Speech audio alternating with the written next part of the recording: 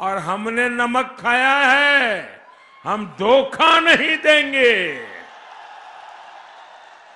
एक गरीब बुज़ुर्ग अनपढ़ माँ,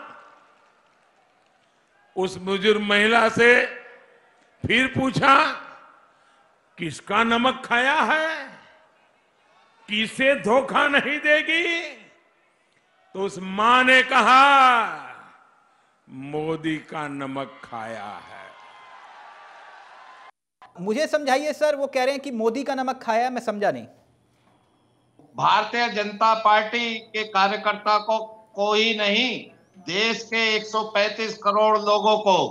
भारतीय जनता पार्टी देश अपना सौभाग्य और भाग्य मानता है कि आदरणीय यशस्वी लोकप्रिय प्रधानमंत्री जी के रूप में हमें ऐसा नेता मिला है। नमक देखिए अमीर भी खाता है और गरीब भी खाता है। 1930 में नमक का कानून क्यों तोड़ा था गांधी जी ने? गरीब के लिए टैक्स ना देना पड़े है ना? दो रुपए का नमक देकर भी आप एहसान जता रहे हैं। क्यों? देखिए हमने भारतीय जनता पार्टी की तरह जब हम सरकार में रहे हैं तो हमने और सेफाई महोत्सव में बारह सर क्या ये गरीबों का तिरस्कार है कि नहीं है? क्या क्या क्या ये आप क्योंकि विरोधी कह रहे हैं कि आप गरीबों का तिरस्कार कर रहे हैं। तिरस्कार गरीबों का। कोई तिरस्कार नहीं है इस देश का गरीब इस देश का मजदूर इस देश का नौजवान तो यानी आप ये कह रहे हैं क्या जनता को नमक का कर चुकाना है? तो मोदी जी को वोट देना। मैंने कहा ना चावला भाई इस देश उत्तर प्रदेश का ही नहीं देश का प्रदेश प्रदेश का नौजवान किसान मजदूर युवा हमारी मातृशक्ति सर वो शोले का डायलॉग था। भारतीय जनता शोले का डायलॉग था। समझ में आ गई शोले का डायलॉग था कि सरदार मैंने सरदार मैंने आपका नमक खाया है।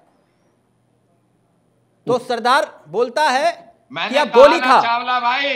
तो तो तो आप ये समझा रहे हैं कि आपने हमारा नमक खाया है तो मुझे वोट दे। तो गद्दार है वो जयचंद की नाजायज औलाद है वो अपने बाप की औलाद है। इतना अत्याचार होने के बाद भी हिंदू अगर दूसरे तरफ़ जाता है तो उसको सड़क पर मुँह दिखाने लायक नहीं रखना चाहिए। अच्छा ये बताओ ये गाँव क्या जयचंद है? क्या ठू है?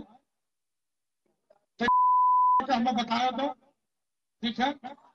कभी हम बनवाई करिए उनके रंगवा हम टेस्ट कराई उनके खुलवा टेस्ट कराए कि ओरिजिनल हिंदू हो कि कोनो मियाँ कौला त्यागी जी, हम जब कोई अभद्र शब्द होता है तो उसमें बीप लगाते हैं। बीप। अगर आप कुछ गलत बोलेंगे, गाली देंगे तो हमें बीप लगाते हैं। तो मैं आपको उनका परिचय दे देता हूँ। ये आप ही के नेता हैं, कहते हैं बीजेपी को वोट नहीं दिया तो उसके अंदर मियाँ का खून, गद्दार, अपने बाप की, फिर हमने बीप लगा दी, उन्होंने गाली दी। ये आपके बीजेपी के प्रत्याशी हैं। हिंदू युवा वाहिनी के बताया जा रहा है कि प्रदेश प्रभारी राघवेंद्र सिंह हैं। आपने ये वाला बयान सुना क्या? नहीं चावला भाई अभी मैंने अभी आप आप अभी इस मामले को संज्ञान में लाए मैं अभी अवगत हुआ हूँ जो आपने मुझे अभी तत्काल क्या ऐसे ही। वोट मांगे जाते हैं सर? इस तरह से इतनी मधुर वाणी के साथ? देखिए, कोई भी दल हो, भारतीय जनता पार्टी का कार्यकर्ता हो, चाहे वो कितना ही बड़ा नेता क्यों ना हो, भारतीय जनता पार्टी का कदाचित उचित नहीं ठहराया जा सकता इस भाषा शैली को।